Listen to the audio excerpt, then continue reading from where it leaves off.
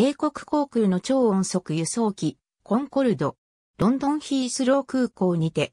ドイツジンスハイム自動車技術博物館で展示されているエールフランスのコンコルドとアエロフロートソビエト航空のツマイナス144超音速輸送機は超音速の速度で飛行し、旅客や貨物を輸送する航空機のことである。超音速旅客機とも、現在、商業飛行を行っている超音速輸送機はない。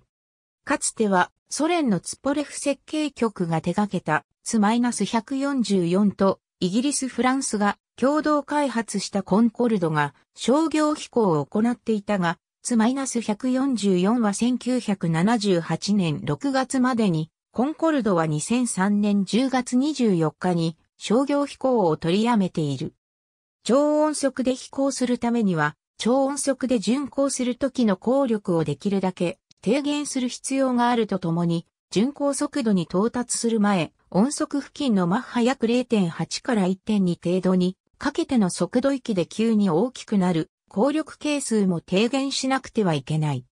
1000音速での効力係数は、衝撃波を作るために費やされる、増発効力も加わるために、高和音速域の場合の3倍以上にもなる。しかし、1000音速を超えると、効力係数は減少に転じ、マッハ2を大きく超える領域での航続率は、高和音速でのそれとほぼ同等になる。しかし、一般の旅客機で用いられるような翼平面型と、翼型を持った翼で超音速飛行を行うと、翼に発生する揚力は大きく減少し、効力は格段に増大する。通常形の翼では、マッハ2の速度において、衝撃波の影響によりその揚力の半分ほどが失われる。効率の指標である上げ高比の点で判断すると、超音速航行による燃費向上はほとんどないことになる。このため、超音速での巡航をなるべく効率的に維持し、なおかつ低速の離着陸時においても十分な揚力を発生する翼平面系の研究に多くの労力が傾けられた。イギリスやソ連では超音速輸送機の翼平面系研究のためだけの実験機を製作している。1950年代を通して SST の概念は技術的には可能と思われていたが、経済的に可能かどうかははっきりはしなかった。多くの燃費がかかる超音速による商業飛行も少なくとも中距離から長距離の飛行に関しては採算が取れるように思われた。より直接的には、既存の青音速航空機の3倍の速度で航行することで、航空会社の保有機数が3分の1で済むことになり、人件費と整備費の低減が期待された。L-2000 イメージ図第1世代の超音速戦闘機が普及し始めた1950年代中期より SST の本格的な研究が開始された。シュドアビアシオン社のシュペルカラベルやブリストル社の223型機などのデルタ翼機が各国政府の助成を受けて研究された。他にアームストロング・ホイットワース社の M 字翼機などが研究されていた。こうした会社の研究は1960年代初期までに実機製作が可能な状態まで進展した。また、1962年にコスト要因もあってシュドアンとブリストルアンは統合され、英仏共同開発のコンコルドの製作へと至った。欧州での SST 開発の進展により、長距離機のシェアをコンコルドに奪われる可能性があるとして、アメリカ航空機業界はパニックに陥った。そのため、1963年よりアメリカ国内でも早急に独自の SST 研究が開始され、ボーイング2707やロッキード L-2000 などの計画が進められた。これらはコンコルドよりも大型で高速、長距離機となる計画であった。特に、ボーイングは熱心に2707計画を進めており、マッハ3近くの速度を目指していた。同時期に、ソビエト連邦もツマイナス144の開発を行っていた。1960年代は西欧において環境問題に対する関心が高まり始めた時代でもあった。そのため、SST の超音速航行により発生するソニックブームによって地上に被害が出ることや、航空での排気ガスがオゾン層に影響を与えるのではないかということが懸念された。ソニックブームの問題は、高高度を飛行することで解決するかと思われたが、1960年代中期に超音速爆撃機 XB-70 を用いた実験により、航空を飛行してもソニックブームの問題が発生することが確認された。このため SST は公害源になると認識され、1971年のアメリカ連邦議会において、ボーイングなどに対する SST 研究費の助成が打ち切られた。研究費助成の打ち切りは致命的であり、アメリカにおける SST 研究は中止された。アメリカの SST 研究が停滞している間も、コンコルドの開発は続けられており、1969年に初飛行を行い、1976年から商業飛行を開始した。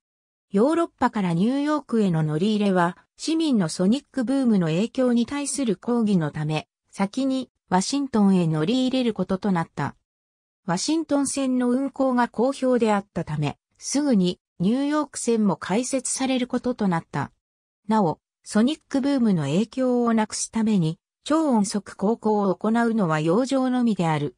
コンコルドの商業飛行が開始されると、アメリカの世論は1960年代とは一変し、AST の名のもとに再度、ロッキード SCV などが計画され始めた。しかし、すでに SST の経済概念は時代遅れとなっていた。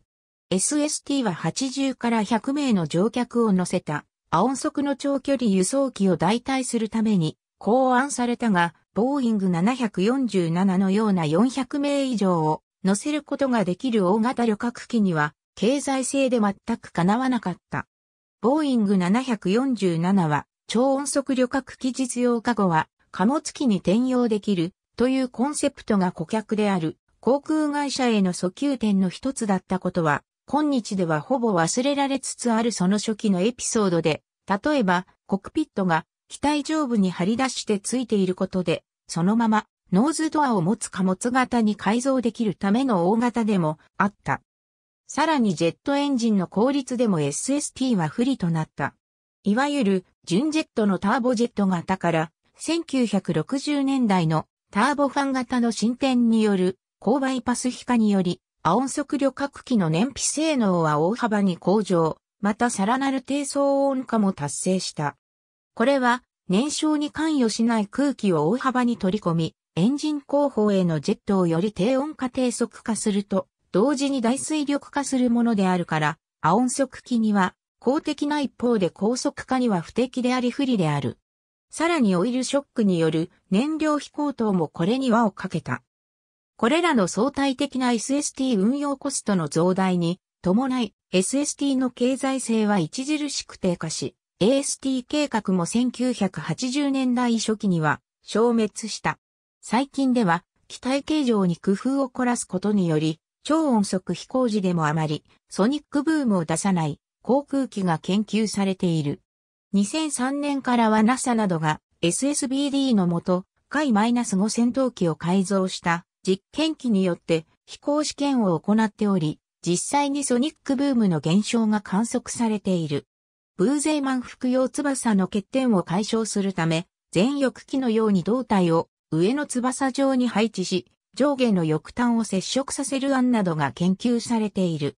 1994年4月にアエロスパシャル社、ブリティッシュエアロスペース社、ダサ社は第2世代のコンコルドを2010年までに就航させることを目標として欧州超音速機研究計画を開始した。並行してスネクマロールスロイス社、マトゥー、ミュンヘン社、フィアット社では、1991年から新型エンジンの共同開発を行っていた。年間1200万ドル以上が費やされ、研究計画は材料、空気力学、各種システムやエンジンの偽装に至る分野をカバーしていた。エスプ計画はマッハ2で飛行し、座席数は250席、航続距離は5500海里を目指すもので、基本設計案の外観はコンコルドを大型化して、カナードを付けたようなものである。同じ頃、NASA でも SST の研究が開始されていた。ツ -144 のエンジンを換装した実験機ツ -144LL を使用して、1996年から1998年にかけてロシアで19回の飛行試験を行った。2016年11月15日、アメリカコロラド州のスタートアップ企業、ブームテクノロジーが超音速旅客機のサブスケール技術、実証機 XB-1 を公開。飛行速度はコンコルドを超えるマッハ2.2とされており、実用の旅客機やビジネスジェットは2020年代初めの運行開始を目指している。2017年にはかつてコンコルドの導入を計画しかり発注も行った日本航空は、ブームテクノロジーと資本提携し、20機の優先発注権を確保する予定があると発表した。2019年、ボーイングが1、2人乗りの超音速ビジネスジェット、アイリオン AS2 を開発するアイリオンコーポレーションへの出資を発表した。超音速機のエンジンとしては、プドが注目されている。現在のターボファンエンジンよりも効率を向上させつつ、高速度での飛行も可能にするもので、NASA はマッハ5で飛行する航空機のためのプドエンジンの研究を行っている。このほか、JAXA と東京大学の研究チームでは、マッハ5クラスの極超音速旅客機に搭載するエンジンとして液体水素を燃料とするターボジェットエンジンに高温となった空気を燃料の液体水素で冷却する機構を追加したヨレターボジェットエンジンの研究を行っている。JAXA で構想中の次世代超音速旅客機。ありがとうございます。